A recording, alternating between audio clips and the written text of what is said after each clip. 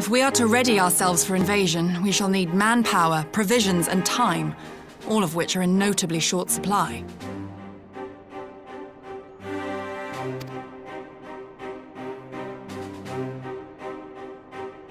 Candid as ever, Yugiri, and correct, I concede. Fortunately, I have an idea. Tis plain no single nation can stand against the might of the Empire. And it was only with the aid of others that Doma succeeded in winning her freedom. So, I mean to take a leaf out of our Eorzean friends book and form an alliance of our own. In addition to those with whom we already share an understanding, I would reach out to Hingashi and Sui-no-Sato, and further afield to the myriad peoples of Nangsha and Dalmasca. I am under no illusion.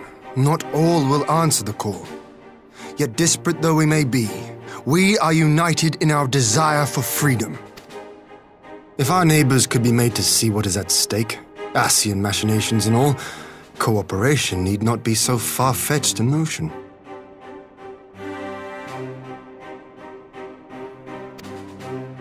It may even seem practical. Under the guidance of our former leader, Master Louisoix, we once strove to unite the fractious city-states of Eorzea. I dare say that experience shall be of use in your endeavor. We should be glad of your wisdom. For the record, I would have been in favor of this plan even if it hadn't been my grandfather's, but I have to ask, how will we secure the time to carry it out? Not that anyone has forgotten, but the Garleans have airships. Lots and lots of airships. Should they catch wind of our plan, they could send an armada to overwhelm us before our alliance had even begun to take shape. Not if we deny them access to the skies. During our time in the burn, the Warrior of Light and I chanced upon some Allagan ruins. Oh? As such ruins go, they were not particularly unusual. But something about the surrounding land struck me as odd.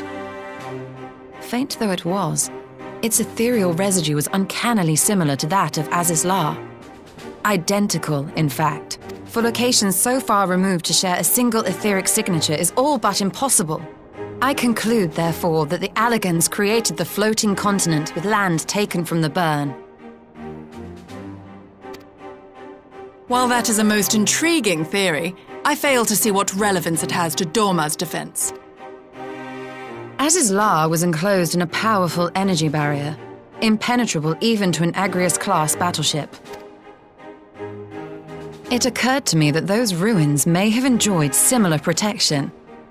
I have no proof, but the Warrior of Light did report seeing a structure resembling other known Allagan field generators.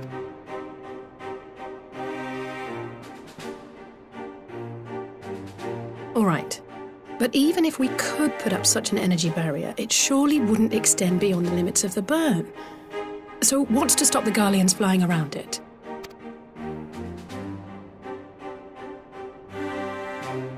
Fuel.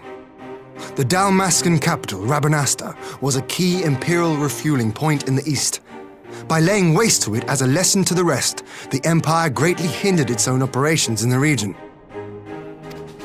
If an Imperial fleet were to advance upon Doma, it would now have little choice but to travel, as the crow flies, over the burn.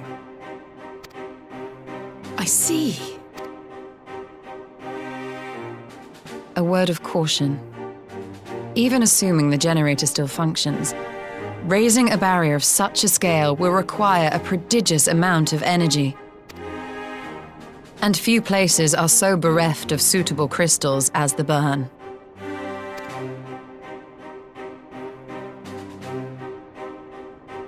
Hmm, A source of energy. Tell me, did the Allagans make a habit of launching things into the sky? A curious question. Besides Azys Lla, I know of only one other notable instance. The Red Moon Dalamud, whose fall triggered the calamity.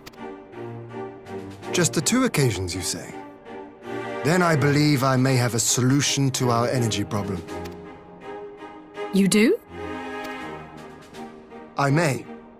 To find out for sure, we would need to visit the Azim Steppe.